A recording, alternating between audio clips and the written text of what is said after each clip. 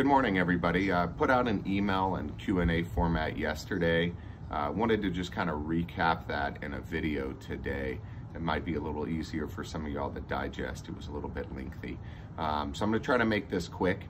Uh, first of all, anniversary party. We're excited to host everyone. That is gonna be this Friday, October the 18th. A lot of people have asked, 6 p.m. or 6.30? 6.30. We're actually closed from 6 p.m. to 6.30 to prepare for the party. Um, so we look forward to seeing everybody this Friday. Um, next question is dress code. So historically, people have dressed up a little bit for our anniversary parties.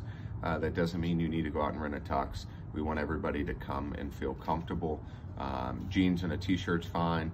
I think most people probably have jeans and a dress shirt on.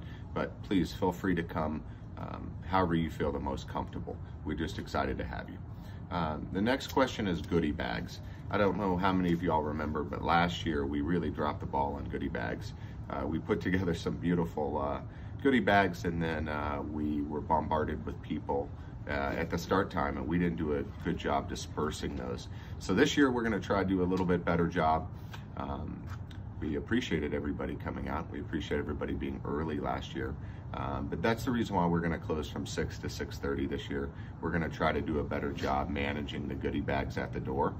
Um, so we're going to do 35 goodie bags and this is going to be product uh, from our inventory and from some of our manufacturers that have offered some product up to our customers. So these are going to be pretty good bags. Um, first 35 people through the door at 6.30 get those bags. And again, we're gonna do our very best to manage that.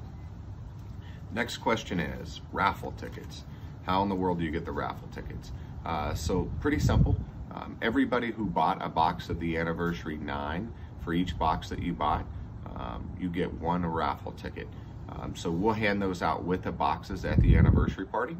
Um, additionally, if you want raffle tickets, um, you didn't get an opportunity to buy the Anniversary 9, what we're going to do is we're going to give everybody a raffle ticket that spends $100. So for each $100 you spend, you get an additional raffle ticket. Um, that's the night of the event. Uh, what are we going to be raffling off? Uh, well, we're going to be doing a couple things. We've got some great raffles from our manufacturers.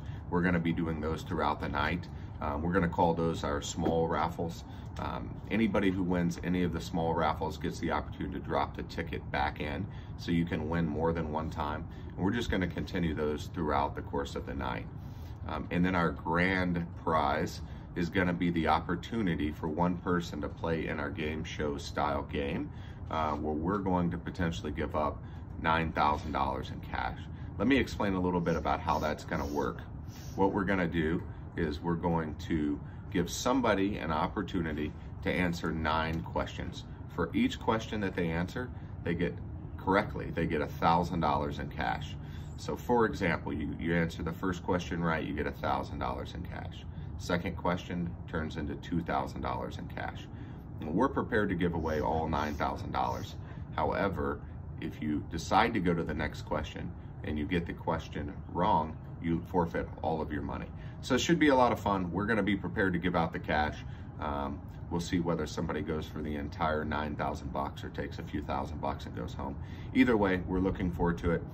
Um, last question I have, uh, a lot of people have asked about entertainment, what we're gonna have. Um, so what we're gonna do is we're gonna have food catered in from 1050 Barbecue. And then we're going to have a photo booth. We're gonna have the raffles throughout the night. I'm gonna have a couple bartenders making some cocktails. There'll be a few surprises along the way, but we look forward to seeing everybody this Friday.